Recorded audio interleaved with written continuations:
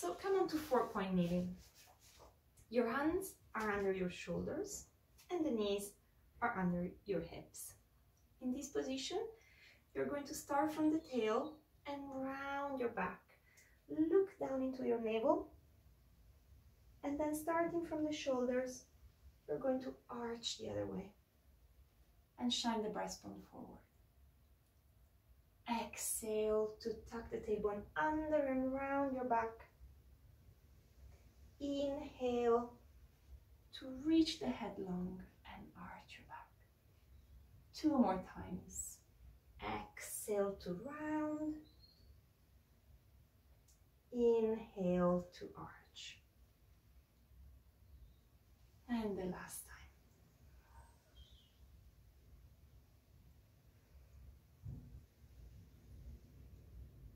Then come to somewhere in between these two points in your neutral spine. The head is long and you're lifting your belly button up towards the spine. From here, lift your left arm up and bring it between the right arm and the right hip, finding a nice rotation. Then lift up and swap. Reach the right arm between the left arm and the left hip. Good.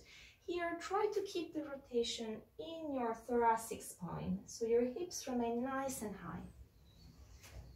Good. And enjoy the twist. Now sit on your heels and give your wrists a little break.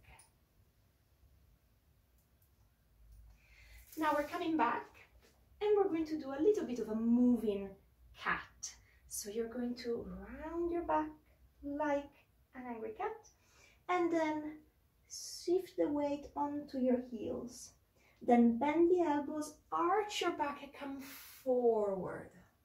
Round the back, shift the weight onto your heels, bend the elbows in and reach. And let's swap.